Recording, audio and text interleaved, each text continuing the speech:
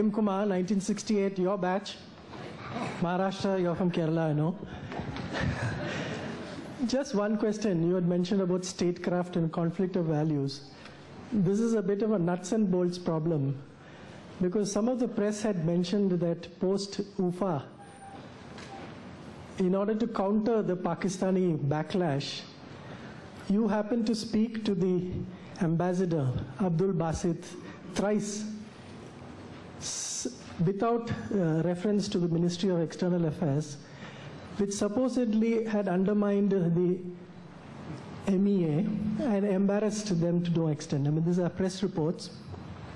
And I'm told that diplomats in Delhi had mentioned that your counterpart, Sartaj Aziz, would never have done this to the Indian ambassador T.C.A. Raghavan.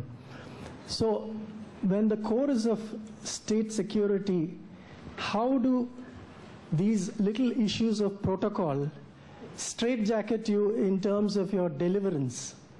Because I know in government, hierarchy plays a very important part. And there is this reported, uh, it, it has been reported in, uh, in the press that this had hugely embarrassed the Ministry of External Affairs and within brackets, Sushma Swaraj also.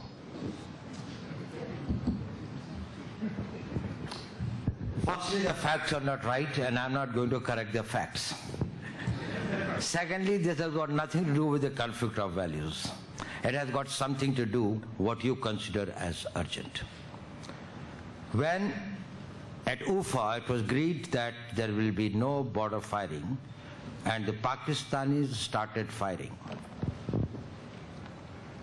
It was absolutely necessary to tell them without any loss of, life, uh, loss of time that you stop it, otherwise we will retaliate. And we will retaliate with effect. This message was concurrently given to our High Commissioner in Islamabad and to the High Commissioner of Pakistan here at five minutes past seven in the morning. It was the time of Ramzan. The rozas were there, and we thought that they will do. Now, whatever they happen, thereafter I'm not going into that.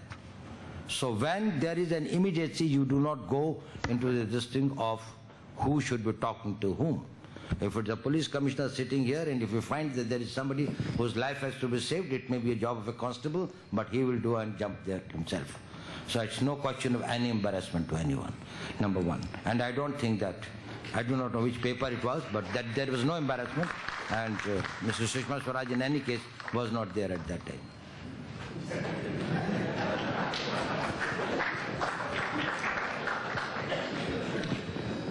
And there is no, there is no uh, this thing. That is probably the PMO dictates the terms or calls the shots. It is completely wrong.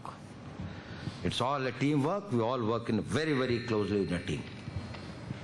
Whatever it is. You know, sometimes there's a conflict between important and immediate. And one does not know whether we should do something which is immediate or do something which is important. But when there is a convergence of importance and immediate together, thereafter also you go through a bureaucratic procedure, then I think that is well. You lack, you don't deserve to be in a place where you are. because there is no dilemma there. It was both immediate, it was both important. So lead it by the front. Good evening to all of you. I should really thank Lalit Doshi Memorial Trustees for having lectures. Every year we are getting lectures, better and better speakers, and the size of the audience speaks for it. Last year we had Raghuram Rajan, and today we are honored to have you, sir. Sir, two observations. Mahatma Gandhi never believed in security. He said, a tooth for a tooth and nail for nail will make the world go blind.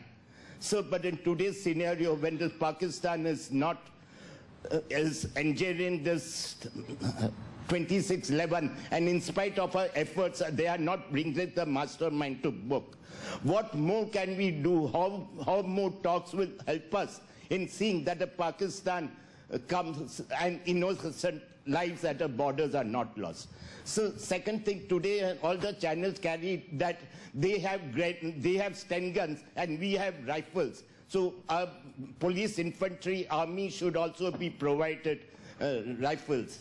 Uh, and so another thing, uh, the hanging of Yaqub Memon really sent a positive signal that anybody who plays with the state's life and will be punished. Sir, but do you really feel that are we really safe in all respect or we are still at the mercy of the uh, this criminal terrorists? Thank you. Now, I'm no one to challenge the great doctrine of the father of the nation about the tooth for tooth and retribution, whether it is the best policy. But the point is that you can do sufficient to see that the enemy does not try to see that it is a viable position for him to make an attempt on your tooth or on your eye or on yourself. Deterrence. That is a nation which has got the strength and a credibility that it can use its strength should it be necessary. That is not necessarily that you are working for in retribution. If you do go for physical fitness and you say that, well, you are going to run, jog for one hour every day and do the physical exercise for two hours, and then nobody tries in, the, in your mohalla to, to this thing like that, you are not doing any retribution, you are only keeping yourself fit. Now the point is this, if you make yourself a provocation for for assault, for a, for a damage by somebody else, you are also partly responsible for it. Your weakness is a provocation. And if your weakness includes your, your unjustified tolerance, that is, you are not able to exercise power that you possess because you don't have the will to exercise the power, that is as good as not having it. Because power is not as good as you have it, but as much as you can exercise it. It is just like money. I can have 50,000 rupees in my pocket and die of starvation if I decide not to spend it. So India has a mindset where it hits, it punches below its weight. We have to punch not above our weight, we have to punch not below our weight, we have to increase our weight and punch proportionately.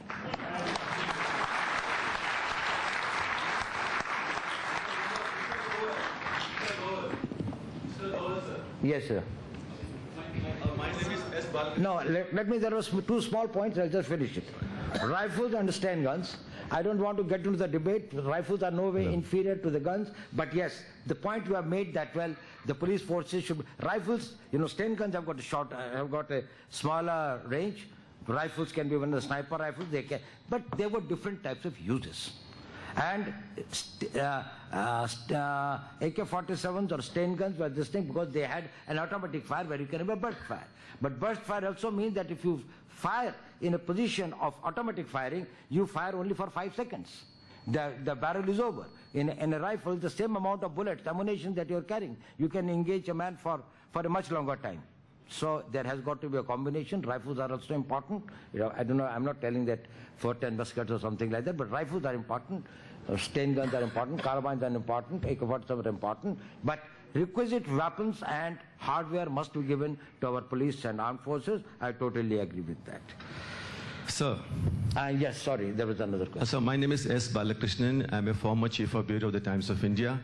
But more than that, I'm here in my capacity as a huge fan of yours, sir. So my question to you is, we are a nation of 100 crore plus population, a huge standing army, navy, air force, a huge security establishment. Still, we are not able to handle a, a threat posed by the son of a former petty constable of Mumbai police. His name is Mr. Dawood Ibrahim. Every day we are talking of Dawood being brought here, extradited and whatnot kind of thing. But this gentleman sitting in, uh, in Pakistan continues to pose a serious threat. He still has got his huge assets in Mumbai. He has got his links with the uh, uh, real estate lobby in, in, in Mumbai. And uh, uh, you know the, what happened after the funeral of Mr. Yaqub Memon. 15,000 people they there and every other day there are threats being issued that India will have to face the consequences. So my question is that why India is not able to tackle this threat called Mr. Dawood Ibrahim? Thank you, sir. Okay. You know, you have raised two questions actually. It's, it's one distinct. One is about the comprehensive national power, and another is about the convertibility of power. Now, if you see the Einstein's main contribution to science was that he was able to say that well one type of a power can be converted into another type of power. Or rather it is interchangeable. That E is equal mc square and others that you know at the end of it, the entire this thing comes from the same source. But in this interest in the in the in the context of the state, you require power, that is one thing. Convertibility of the power is not always possible. For example, well, if somebody has picked your pocket in a huge armor tank battalion here, what do you do with that? You will not be able to convert this thing. So it's a big army or a big navy or a big air force. Yes, if it's a threat from, say, Ki-17 uh, aircraft from uh, this thing or F-16 aircraft from Pakistan or uh, DF-21 missiles from China, from China, we will say that, well, we have got Agni, we have got this thing. It is not against somebody who is a fugitive living under the protection of some intelligence agency in a guarded place. So the interconvertibility is not always there. You may have legal power, but you cannot automatically convert that legal power into a muscle power. There's a due process through which you can do it. So there are two things. We are a country of 100 crore. We are. We are a powerful country. There's no doubt about it. We are a much uh, importantly emerging economic and military power. We are. And we will be much ahead, I think, in next few years. I'm very, very sure of that. But whether this is a specific thing leads to that or not, that's the another thing. Now, if it is a challenge and uh, the state must develop those type of powers, if required to meet the covert threats. And well, what can be done, I don't think this is a matter to be discussed in a place like this. But yes, whatever has got to be done should be done. But then it is not that uh, that you just denounce that well we have got a big army or a big administrative structure or a defense ministry and others they are all useless because there is a one particular type of a threat there. That's a different threat they have got different. All tools cannot be used for you know you cannot uh, you cannot uh, do the swing with the screwdriver. Yes, please. Yes, please. Just one question in a lighter vein. I'm Ashok Ajmera. I'm an investment banker. Sir, uh, there is a gap of about six to seven years between you retired and now you have become again active. And four years back, we had an opportunity to have you here in Rotary District Conference. With Ajit, my friend, was the president. Ajit Arendra sitting Yes, yes, I know he's a friend of mine as well. Behind the friend of yours. And in that lecture, Huh. special lecture in the district conference, Huh, many of the things which you said now or you are doing now, huh, you said huh. So I have two questions. Number one, how to keep yourself abreast with what is happening around, even after retirement of a very active life. How to keep yourself fit, and how do you feel after you come back more actively than what you were when you retired? And it will be a message to, I think I see 20 of the retired officers out of that, I think six police commissioners sitting here, many of them my, my friends. Mr. Julio Ribeiro just uh, was there in our Rotary Club last week. So, does it a message to the people around that even after retirement, you keep yourself abreast with whatever is happening around, you keep yourself fit, informed, and you may also get this kind of opportunity later in the time of your later part of the life. Okay. Thank you, sir. Well, I think the, there are a lot of assumptions in your question, but I will accept them because they are in my favor. You assume, you assume that I am updated, you assume that I am abreast, and I am fit. Maybe, may not be. Only, only the time will prove. But even if I am not, I can definitely tell you one thing. Well, as far as question of remaining updated and abreast is concerned, your mind is like a sponge. Greater the pores in the sponge, and less filled it is with muck, greater its capacity to absorb the water. Keep your mind out of petty jealousies, small personal interests, who, uh, who is doing what and who is talking what, and things like that. You know you are taking away the tremendous capacity of your mind by this thing that you do not know how much of energy and talent it is sapping out of you. Then it, with the residual 5 to 10 percent if you mop the floor how much of a water will it pick up? So keep the mind free so that you can use it when it is required. And if not required just be a relaxed happy man just enjoy the life. Life is meant for enjoyment. Sir, Arun Nanda here. No. Sorry, sorry, sorry, sorry, sorry. Yeah. We are here. Now, Sharyutai. One, one, one minute, please. Sharyutai.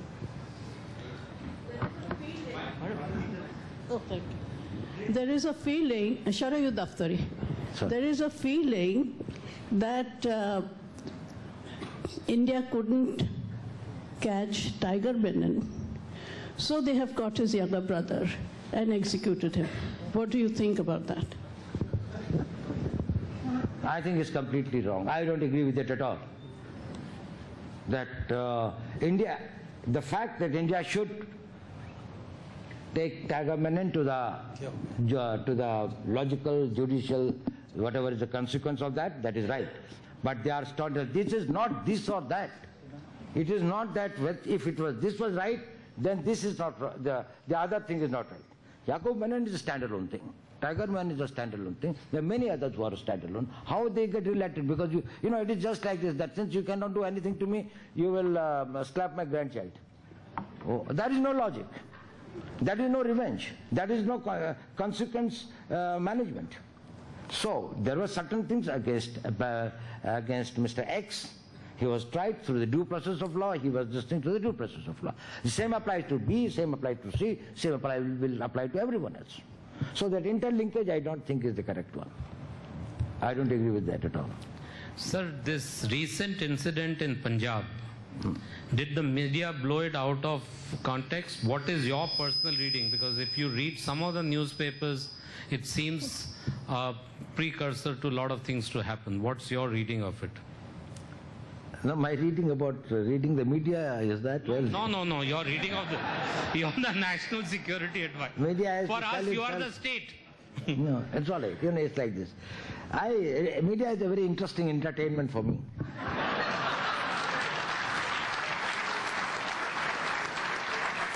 so I. It's, it's, a, it's a good thing in the morning that it wakes you up and things like that. Not about what they are writing is right.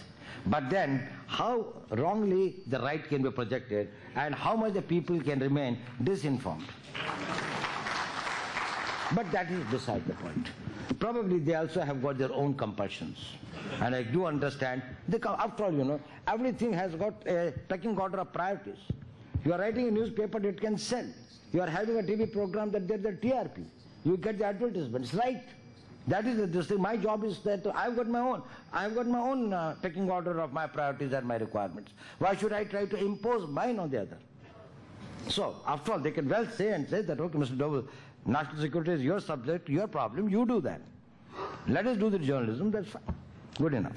I, my only point is this, that at some point, national interest is supreme for all of us because if we will sink together, we, you know, either we will sail together or we will sink together. The day we sink, all this freedom of press or the freedom of the individuals or this thing that will also sink with that. So that it can remain afloat, the country has got to remain secure and strong. So do not do anything that will create schism between the ranks of the people, create cynicism amongst the masses, give them a sense of defeat and a sense of helplessness make a strong nation, and the nations are as strong as the national will is, and the national will is of what the people think. Let us remain, keep our communities together. Let us keep our people in a in a, in a healthy state of mental and educated uh, and uh, intellectual state of mind.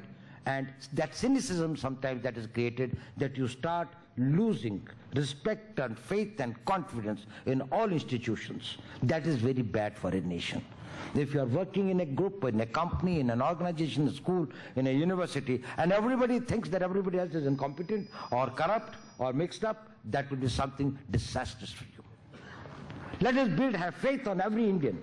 That every Indian is giving his best. Everybody is doing his duty to the best of your this thing. If you are not able to comprehend it fully, probably we give the benefit of doubt to them, and I give it to the media. I think, you know, I have, uh, I have uh, spoken and I have interacted the people with the media all over the world in different places, and I've talked. We have got some of the finest brains in our media. The question is this. The question is this. Their problem is सब लोग पढ़ते ही हैं. Uh, we are writing about these petty crime or petty human weakness stories because that is what is spicy, that is what people read. Now it's a vicious circle.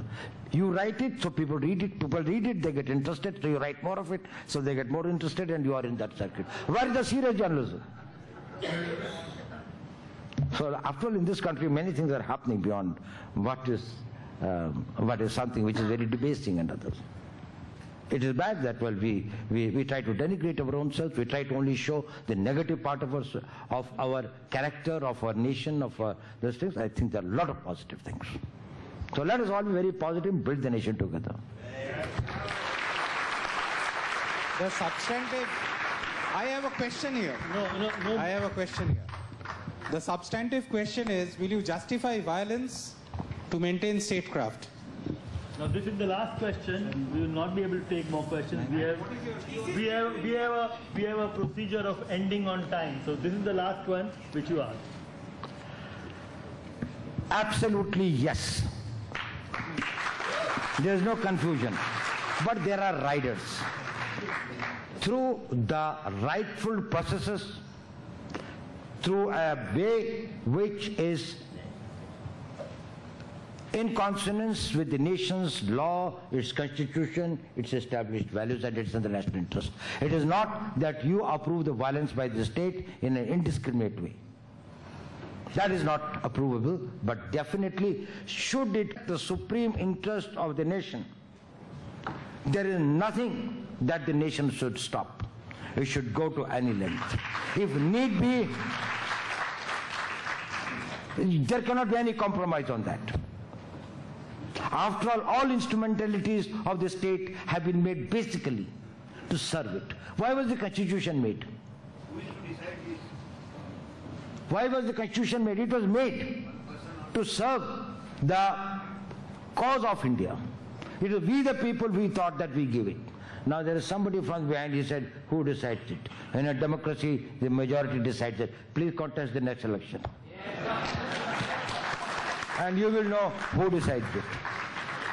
We have countries where they do not resort. Thank you.